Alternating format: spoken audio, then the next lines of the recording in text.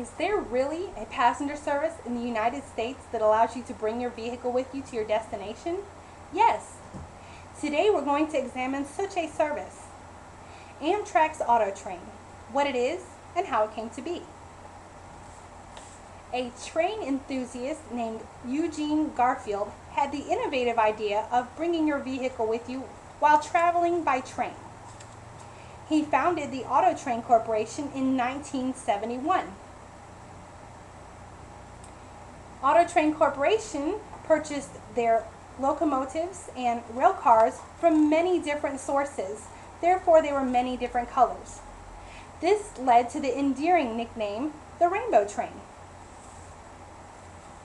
Auto Train Corporation operated two routes, one between Kentucky and Florida, and the other between Virginia and Florida. In 1976, there were two minor derailments and a major derailment in 1978. These derailments led to service interruption, loss of revenue, and many lawsuits. These financial hardships eventually forced the Auto Train Corporation into bankruptcy, causing them to close their doors in April of 1981. Many people thought this was the end of an innovative way to travel, but they were wrong.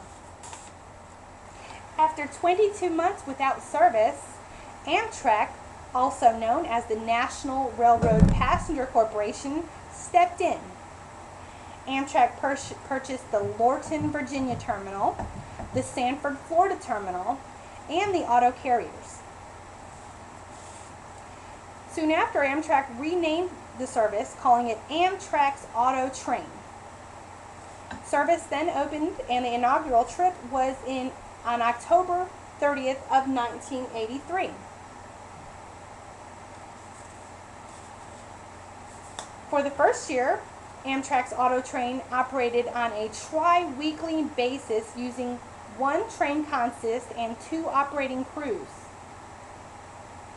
After purchasing a, another set of equipment in 1984, they switched to daily service using two consists and five operating crews.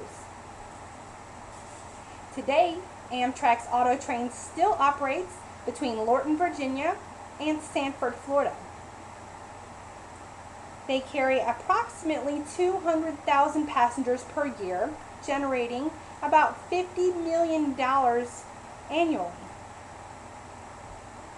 Amtrak is considered to be the best paying train in terms of operating costs versus income. What makes Amtrak's auto train so special? Well, there's non-stop travel. There are absolutely no service stops between Lorton and Virginia. You get to bring your car with you.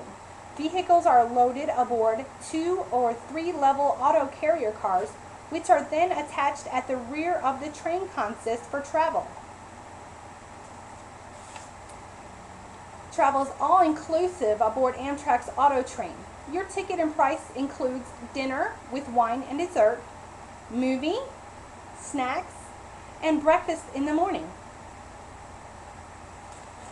Amtrak's Auto Train is the only train in the United States that allows smoking on board. They are equipped with two Superliner lounge cars that have a separate smoking section on the lower level of the lounge car. Amtrak's Auto Train is the longest passenger train in the world and is over a half of a mile long. The Amtrak Auto Train consist is made up of two diesel engine locomotives, 10 passenger cars, two lounge cars, three dining cars, 12 auto carriers, and one crew car because the crew actually lives on the train for three days at a time. I hope you've enjoyed our trip through history with Amtrak's Auto Train. I know I have. I'd like to thank you for your time and I hope you have a wonderful day.